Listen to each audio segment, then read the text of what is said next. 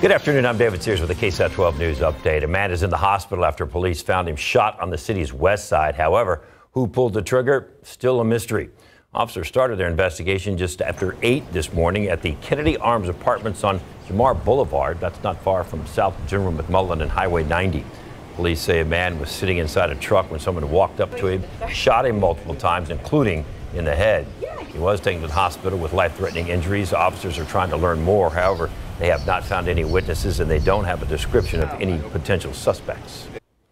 14 people forced from their homes after a fire broke out at a northeast side apartment complex. Now crews are trying to figure out how that fire got started. Firefighters arrived at the Iron Horse Valley Apartments around 10:30 last night. That is on Loop 410, not far from Starcrest Drive. Crews tell us the fire started in the attic. Eight units had to be evacuated. Everyone got out safely, including one elderly woman.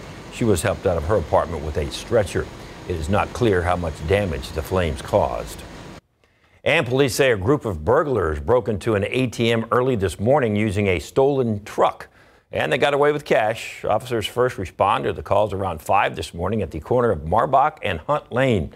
They believe two men had ripped an ATM open with the help from the truck and a chain, then cleaned out the cash. Police believe they also had help in getting away from someone in a second car.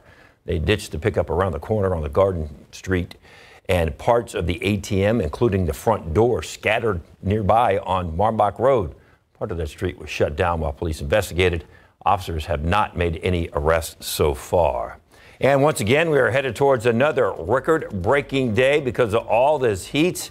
We will have more for you on KSAT 12 News at 5 and again at 6, and the latest on our website head, head over to ksat.com. See you at 5. Keep up to date with all of San Antonio's top news, weather, and so much more by clicking the like and subscribe buttons below. And once again, thanks for watching KSAT.